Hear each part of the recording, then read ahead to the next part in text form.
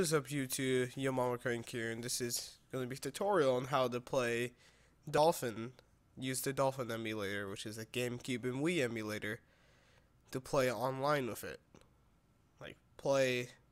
It's called, it's called NetPlay. NetPlay.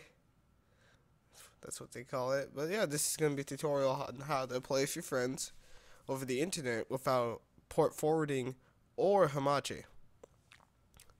Okay, so first of all, I'll have a link in the description.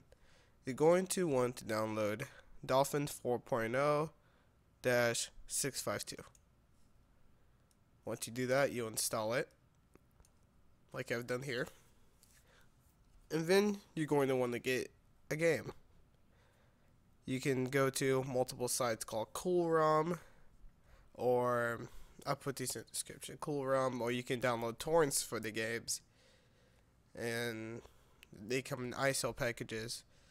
And then what, after you get done downloading it, you're going to make a folder on your desktop or somewhere in your computer. So you have a folder called, called Dolphin.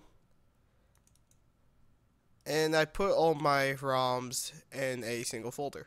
Now they'll, they'll come as ISOs.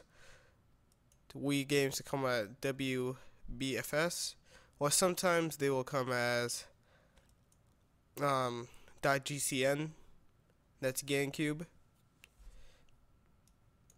Alright, so once you do that, you're going to click refresh.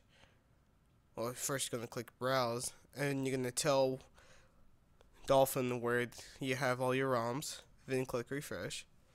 Then you have your list of your games. After you do that, you're gonna have you're gonna want to have a you know, a decent graphics settings for your computer. So, you know, you have to try, you mess around some settings. I can tell you my personal settings, and that is right here 460 by 9, 1920 by 1080. Enhancements, internal resolution, auto window size, anti aliasing none, anisotropic 1. Disable fog, only the one that's checked on the hacks, skip EFB access, ignore format changes, EFB copies, texture, enable cache, and other. There you go. After you do that, you're going to want to go to conf config. And on GameCube, slot A, make sure it's memory card. On Wii, make sure you set insert SD card. After you that after you do that, you can right click on your game once it's in there and click host net play game. And then you have an ID right here. You click copy. Your friend your friend gets that code and he clicks connect to play, and he types in that code and he clicks connect and he'll be right there without any port forwarding or anything. It's pretty it's pretty cool. Now you have to make sure that you both you and your friend have um, the same ROM, otherwise it gonna cause some complications. And GameCube games, they they tend to lag a little bit more than Wii games during my research. So I suggest you doing those. Well, uh, yeah, that's really about it. And if you have any questions or anything, put it in the put it in the comments. Just section. one more thing at the end.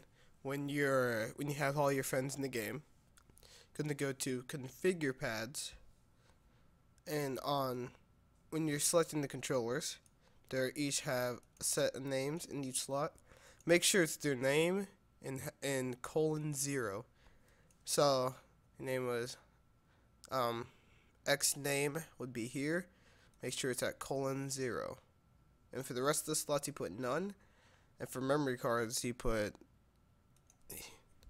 you know, whatever person's memory card is going to be going off of colon zero. Right, that was the last thing.